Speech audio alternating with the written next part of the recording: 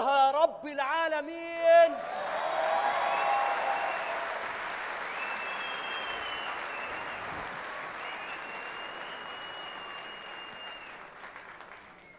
إيه ده؟ طب دي عروسة البحر انما دي إيه؟ حفل زفاف جماعي. لا استنى انزل اشوفكم عن قرب. أنا مش عارف شربونا إيه. مش عارف والله الدنيا ضايعة معايا. وأنا إيه ده؟ إيه ده ده؟ بتاع جناب القرصان يتمنى لكم صوما مقبولا وإفطارا شهيا. مدفع الإفطار اضرب!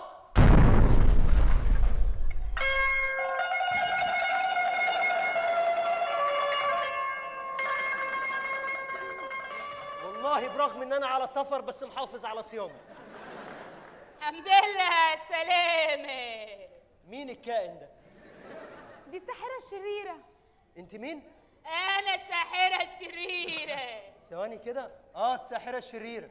لا حلوة دي عايز أعمل واحدة قراية والله. بقول لك أنت الساحره والله أنا صايم من الصبح يا ساحرة ما أكلتش أي حاجة. صايم إيه يا جدع؟ ده أنت بقك كله أحمر أهو. لا ده من البوس ده. ما أكلتش والله. ما أكلتش إيه؟ والله ما ده أكلت. ناقص تاكل سنانك. إيه؟ بطلي ودوري تاني بطلي ودوري.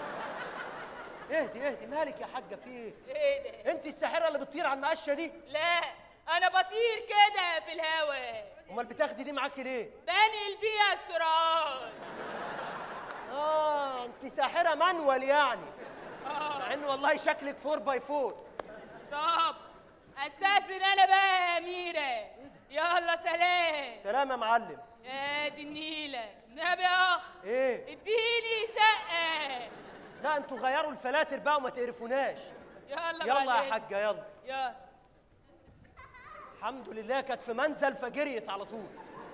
إيه يا مولاتي؟ سايبانا للقرصان يخطفنا. بصي ملبسنا لبس بتوع العرقسوس ليه كده يا مولاتي؟ اوعي يكون في حد أذاكي أو فكر إن هو يأذيكي.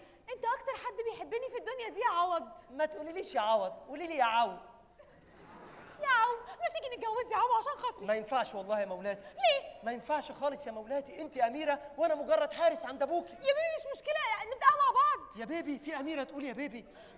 يا مولاتي والله الجرايد ما هتسيبك في حالك وهيبهدلوكي. هيطلعوا يقولوا ارتباط الأميرة شمس بحارس أبيها. هل وراء هذا سر قذر؟ هدية العدد. بوستر حمدي الوزير.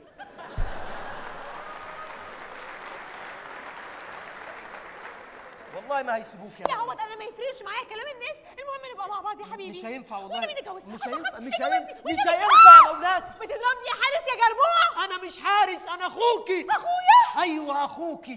طب إزاي يا أخويا وأنت لونك أسود وأنا لوني أبيض؟ ده بابا لونه كراهات وما اتكلمش. أنا أحكي لك الحكاية.